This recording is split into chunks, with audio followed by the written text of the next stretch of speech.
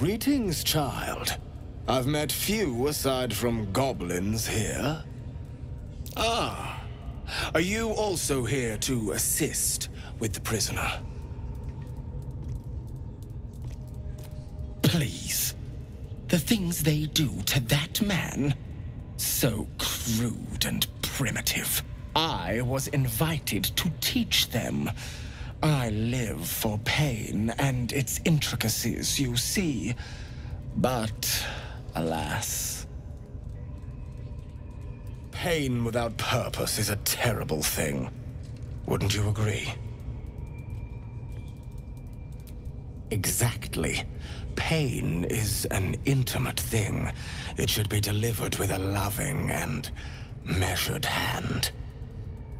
But trying to discuss such subtleties with these creatures is simply... Forgive me, but that look in your eyes... Something terrible has happened to you. Because I see those same eyes when I look in the mirror, dear one. We've all suffered in these dark times. It is little wonder you bear scars of pain and anguish. Please, let me alleviate this pain.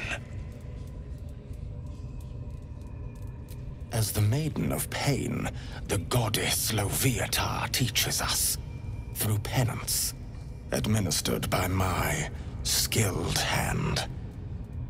My work can grant peace and serenity, the likes of which few experience. It will be worth it. I promise. By all means. Let us see what his skilled hand might get up to. Oh, I have something exquisite in mind.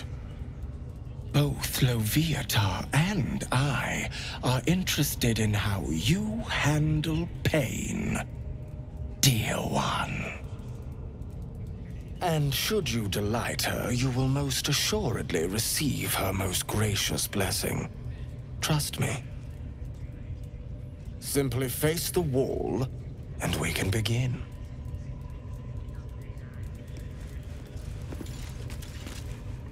Yes, this will do nicely.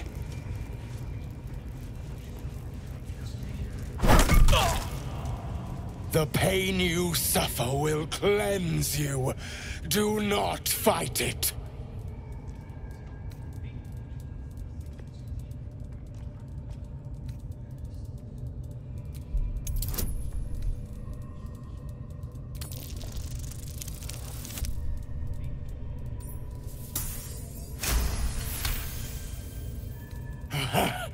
You want more?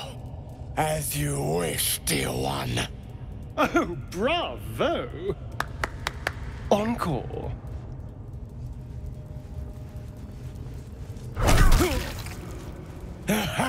wonderful! Just wonderful!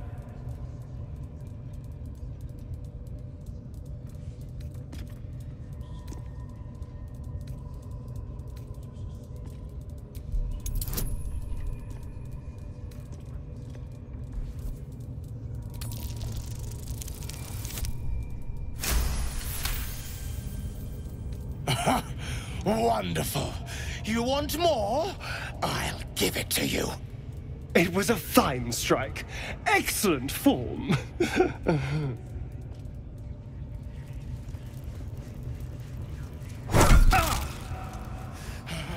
That's it!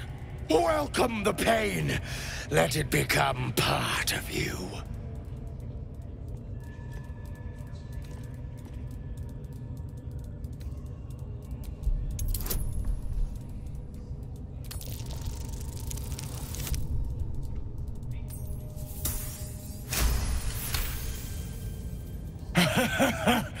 I hope that's a promise, dear one.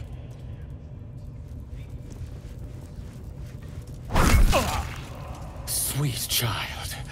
You bore the pain like a true believer.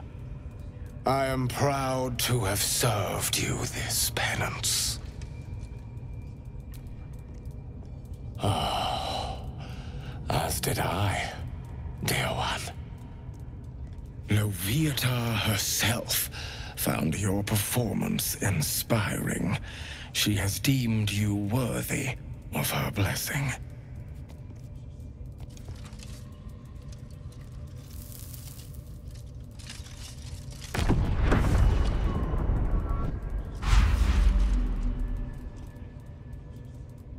And on a personal note.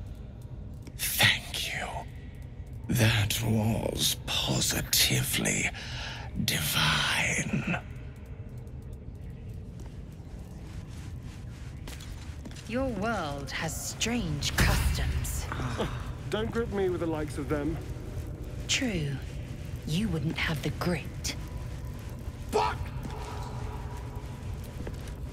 I've known people who are hungry for power, but Gale takes it a bit too literally for my liking. I wonder how he does it. Why he does it. Hm.